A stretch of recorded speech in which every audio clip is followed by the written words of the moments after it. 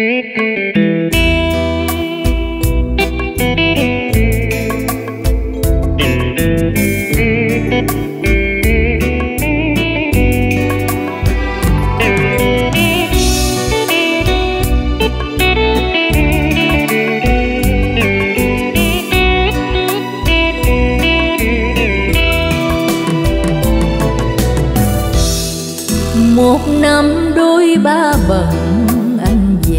ghé thăm con.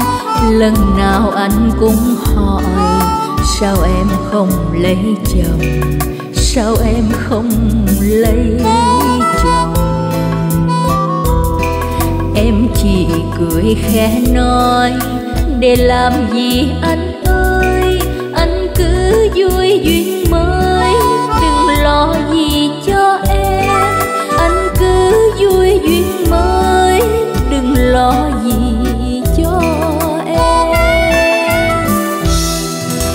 từ khi ta gian dở, em dò gió nuôi con.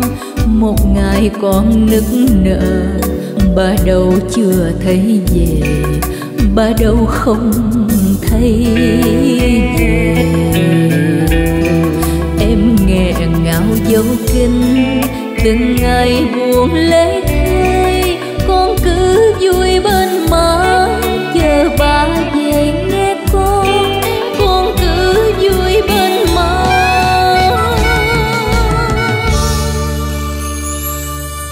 ba về nghe cô.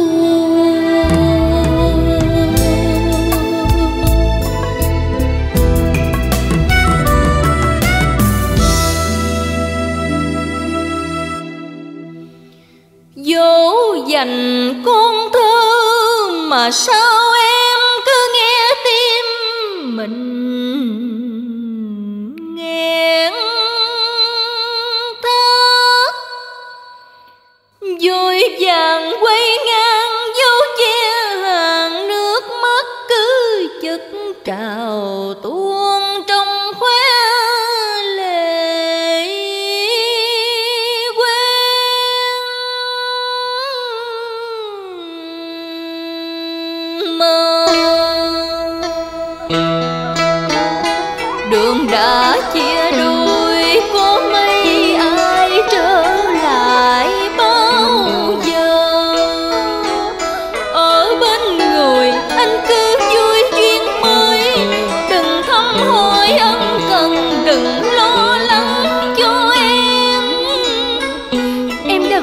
Anh bằng cái tên chồng cũ. Là đã yên lòng dấu kính chuyện ngày xưa. Không rõ con mình nó hiểu chuyện hay chưa, nhưng em vẫn dỗ dành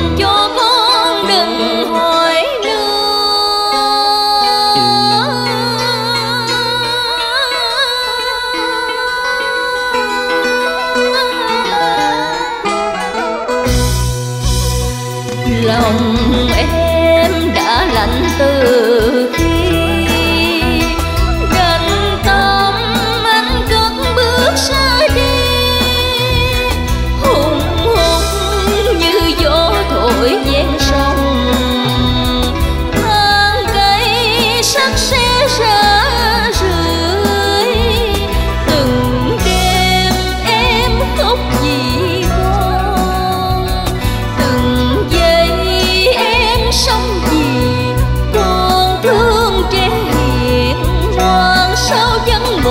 vòng tay.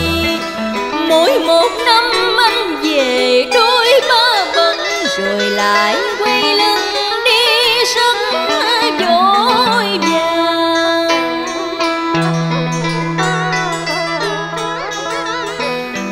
con nhìn theo mà anh mất ngỡ ngàng. Phần em bẻ bàn lâu rồi em chấp nhận không trách, không hờn không đổ lỗi cho anh. Mà chuyện riêng mình, em đâu thể đành tâm theo tiếng lòng để cho con mình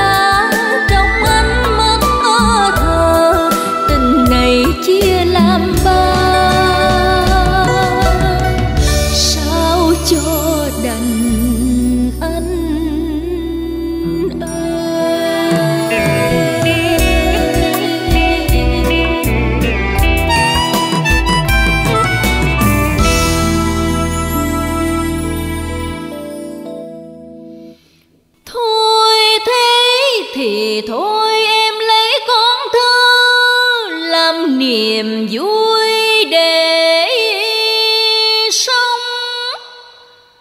Những lúc ốm đau, những khi sầu lẻ bóng chỉ cần ôm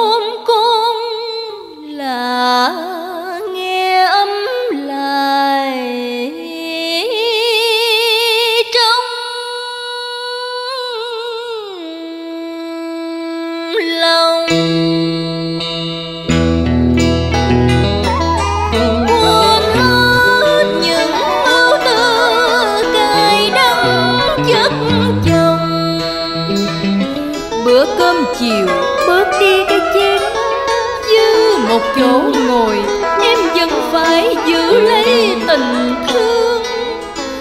Đi giữa tiếng cười Để bù đắp cho con, Để nó lớn khôn mà không hờ không giận. Để nó vẫn gọi anh bằng tiếng ba quen thuộc Khi đã quên đi hơi ấm của thầm tình. Phận duyên trách thân chi, dòng đời phận đôi đàn. Em nay thôi ngỡ ngàng, quên đi bao vẻ sông chiều hùng hục gió, người vội vàng ra khơi, anh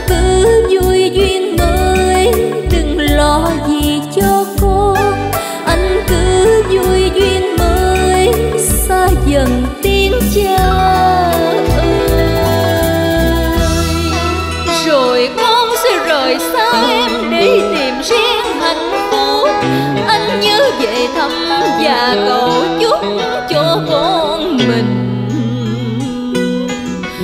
Mong nó gìn giữ được gia đình với những yêu thương mà nó tự mình chọn lựa.